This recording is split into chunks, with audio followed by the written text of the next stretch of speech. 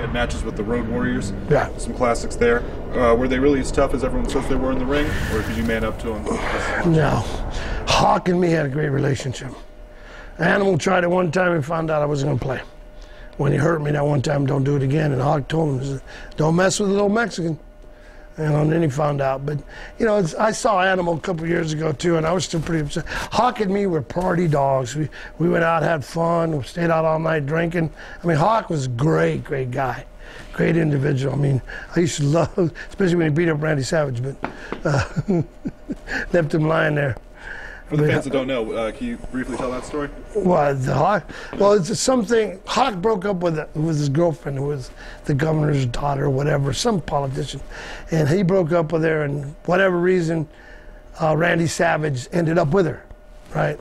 And they were in Japan. We were all in Japan. We're doing a big show in Japan, and and uh, some words were going on about this, and Randy was mouthing off about, no, no, he Hawk had her now. Hawk was dating her now. So now Randy's running his mouth about her. Just that and that, what he did, I guess.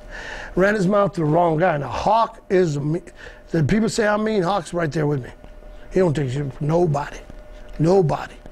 And uh, from what I understand, they're playing Randy's music, and they played the whole song went through and no Randy. And they restarted the song like a bunch of dummies, but that's the Japanese for you. And no Randy. So everybody's freaking out. Where the heck's Randy? Well, he's lying back in the dressing room. Hawk laid him out. Put him open, laid him out. He's laying there in full blood. he wasn't that tough to be running his mouth to Hawk.